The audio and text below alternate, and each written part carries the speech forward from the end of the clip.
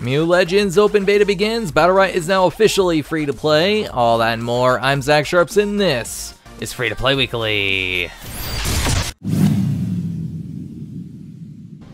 First up in the news this week, the latest entry into the MU franchise, MU Legend, has officially entered open beta, aka it's now pretty much launched. The reason I say this is there's no more wipes and the cash shop is live, so should you play it?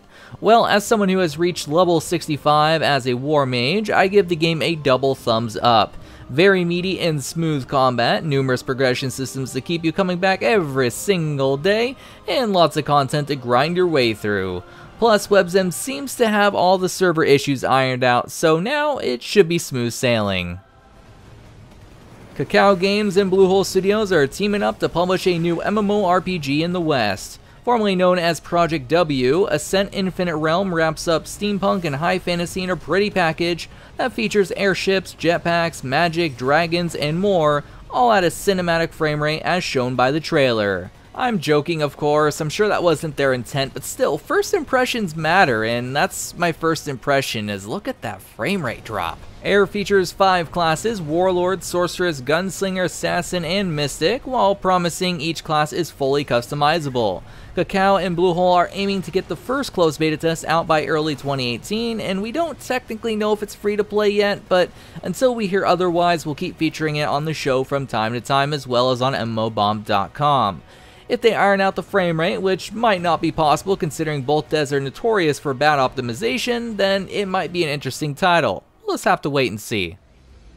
You know that game by Stunlock Studios that I always mention on the show and you guys tend to always mention that it's not free to play yet? Well, Battlerite has now gone officially free to play. Free players can take advantage of a rotating set of 6 champions every single week and you can buy new champions individually or shell out for a champions pack to get access to all 22 current and future champions.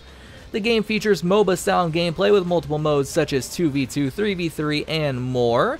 And if you've been waiting for this game to go free to play or it just looks interesting to you, now you can download it for free on Steam. Halloween wasn't too long ago, so I guess it's not surprising that a zombie by the name of RaiderZ is still running around looking for brains. In fact, Masang Soft acquired the title from Maya Entertainment and is looking to bring the game back to life. Before they do so though, they wish to take their time to see how they can provide a better experience.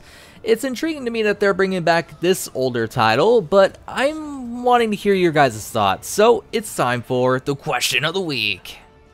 Last week on the show, I asked you guys which game has made your hand hurt the most. Used by the name of Kakao Hundin stated the following Silk Road Online made me get permanent injuries in my hand, having to grind the same combo over and over again for 8 hours a day to get that sweet max level gear.